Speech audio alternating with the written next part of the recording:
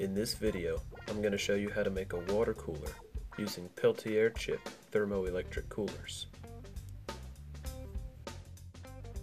These chips operate based on the Peltier thermoelectric effect. Whenever an electric current is applied to the chip, heat is transferred from one side of the chip to the other.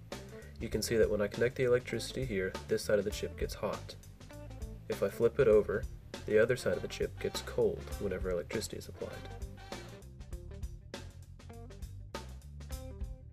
The way this will work is I've got a CPU heatsink from an old computer, and I'm going to interface the hot side of the Peltier chip with the heatsink. For the cold side, I've got this aluminum block with channels cut out on the inside so water can flow through, and I'm going to interface that so that water flowing through the aluminum block is cooled by the Peltier chip. The heat from the Peltier chip is conducted through these copper pipes into the aluminum manifolds where it's released to the atmosphere. So to get things started, I put a small dot of thermal grease on the CPU cooler. I then took the hot side of the Peltier chip and pressed it into the grease, pressing down firmly so that the grease would smush its way all the way to the outside of the chip.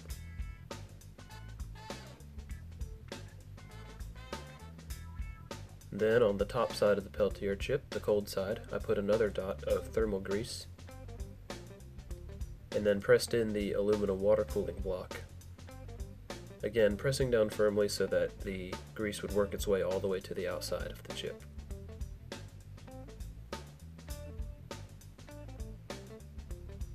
Then I took a strip of electrical tape and wrapped it around all the parts just to hold everything in place.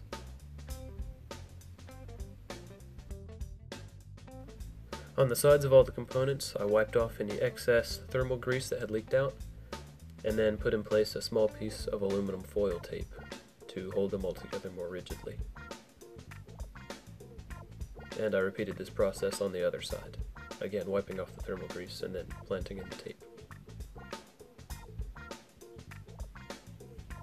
After I had everything in place on that heatsink, I went ahead and repeated the process with another chip and a different heatsink.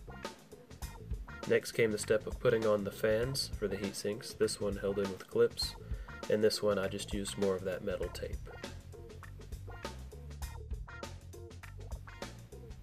Now for my design I wanted to conjoin my two coolers together. So I laid down a couple lines of quick drying acrylic glue on the top of one of the cooling blocks. And then I grabbed my other cooler and just pressed it down directly on top, wiggling it around a little bit to make sure the glue came into contact with each of the surfaces.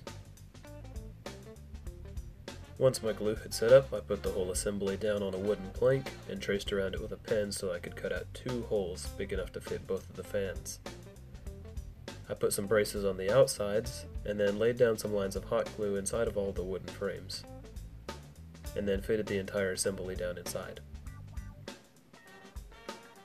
At this point, I grabbed all of my positive wires and twisted all the frayed ends together, and then soldered it into an 8mm bullet connector.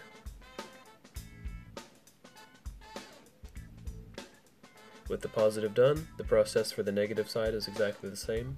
Just twist all the braids together and then solder them together into a 8mm bullet connector. Once those are soldered, I press some heat shrink tubing over the whole thing and shrunk it down with a torch. All that's left to do now is to lay down two lines of hot glue and press both of the bullet connectors into the inside. At this point, I just took some latex tubing and connected it to the pump into all of the water cooling blocks, and then ran all the right tubes to the front. And there you have it, a completed Peltier thermoelectric water cooling device. This machine runs on 12 volts DC from another computer power supply at around 150 watts. Now I found the minimum operating temperature for this to be about 6.8 degrees Celsius, so it's perfect for doing long distillations or if you've got a long reaction that needs to be kept cold, you can use this sort of device for that. This machine is very quiet and it can run for hours on end without stopping. If you guys like this video, I hope you leave a like and subscribe and be sure to leave lots of comments. I love reading your guys' thoughts. And let me know what you want to see in the future. Stay tuned for more projects to come soon. And thank you guys for watching.